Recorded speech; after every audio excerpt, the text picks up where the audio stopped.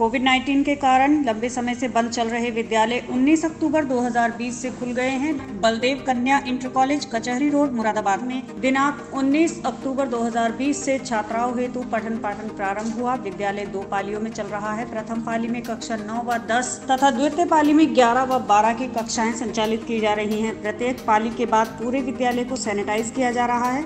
अभिभावक का अनुमति पत्र लेकर छात्राएँ अभिभावक के साथ विद्यालय आ रही है। केवल उन्हीं छात्राओं को प्रवेश दिया जा रहा है, जिनके पास अभिभावक का अनुमति पत्र है। विद्यालय के मुख्य द्वार पर सभी छात्राओं, अध्यापिकाओं तथा कर्मचारियों की सैनिटाइजिंग व थर्मल स्क्रीनिंग के बाद ही उन्हें विद्यालय में प्रवेश की अनुमति दी जा रही है। जिन छात्राओं या अभिभावकों के पास मास्क नहीं है, उन्हें निःशुल्क मास्क वितरित किए जा रहे हैं। प्रवेश द्वार से लेकर अंदर तक थोड़ी थोड़ी दूरी पर गोले बनाए गए हैं, जिससे सोशल डिस्टेंसिंग मेंटेन की जा सके। कक्षाओं में भी छात्राओं को आपस में छह फीट की दूरी पर बैठाया जा रहा है। इस प्रकार विद्यालय में कोविड 19 से बचाव हेतु सरकार द्वारा जारी सभी दिशा निर्देशों का पूरी कड़ाई व सतर्कता से पालन किया जा रहा है। मैडम बच्चों की सुरक्षा को लेकर आपने क्या इंतज़ाम कराए विद्यालय में हम एसओपी का पालन करा रहे हैं।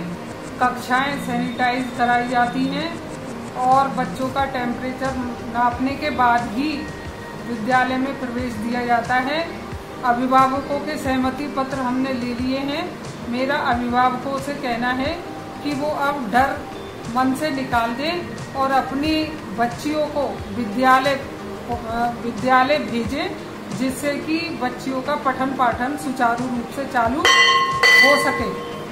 कोरोना काल में काफ़ी दिनों तक विद्यालय बंद रहे लेकिन अब विद्यालय खुल चुके हैं और छात्राएँ भी बहुत प्रोत्साहित हैं स्कूल आने के लिए और कक्षाओं का संचालन हो रहा है और बच्चे पढ़ने में रुचि ले रहे हैं। छात्राओं की संख्या धीरे धीरे विद्यालय में बढ़ रही है।